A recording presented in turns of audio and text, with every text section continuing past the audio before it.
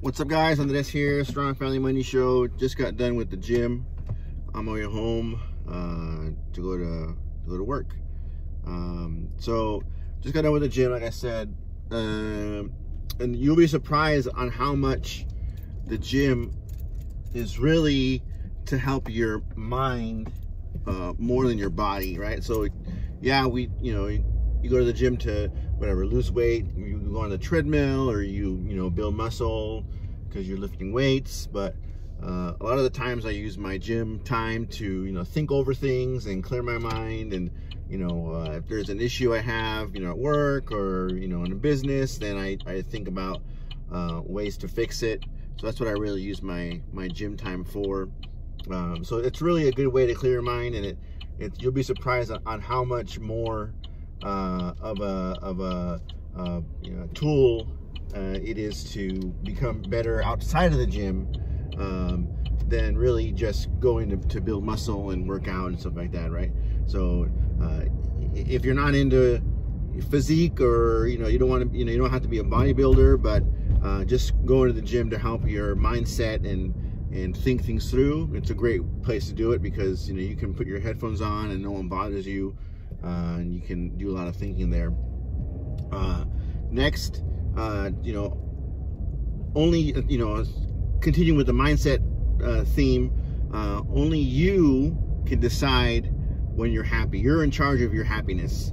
Uh, so that's why you should never put your happiness in somebody else, right? You should never say, I'm happy because you know they like me or you know they they make me happy, right?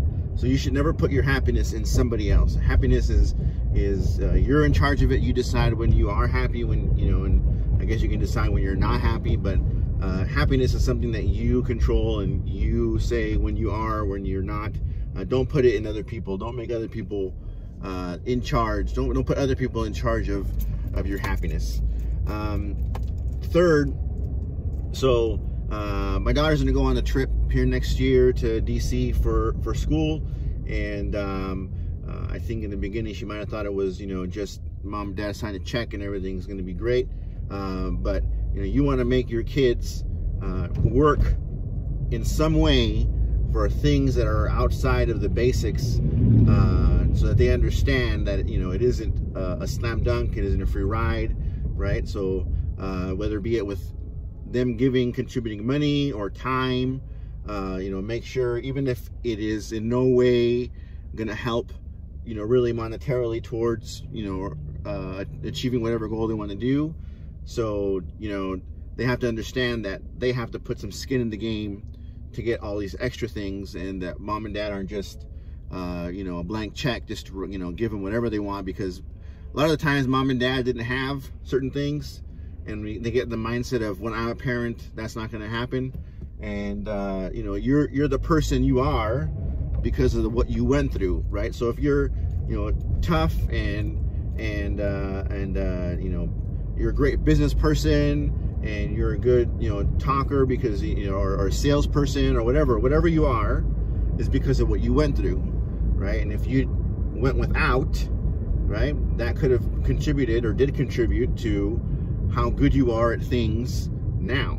And if you don't give your kids the opportunity, and it is an opportunity, to go through those same things, then you're taking something away from them, right? They're not going to become, uh, you know, as good as they can be because you only become good if you go through struggle, right? And if you take all the struggle away, you think everything's going to be easy.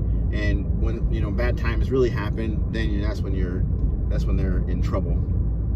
Uh, next, uh, set a savings goal every paycheck and make it automatic so that you don't think about it, right? Uh, you you want to have the least amount of money in your pocket at the end of the day, like when you get paid, right? So you want to make sure that you set a savings goal, 100, 200, 300 bucks every paycheck automatically goes somewhere else. You never see it. You never have to think about it because when you think about it, you can make a decision not to do it. So you want to make a savings goal every paycheck, make it automatic you'll be surprised on how quick that um, that adds up.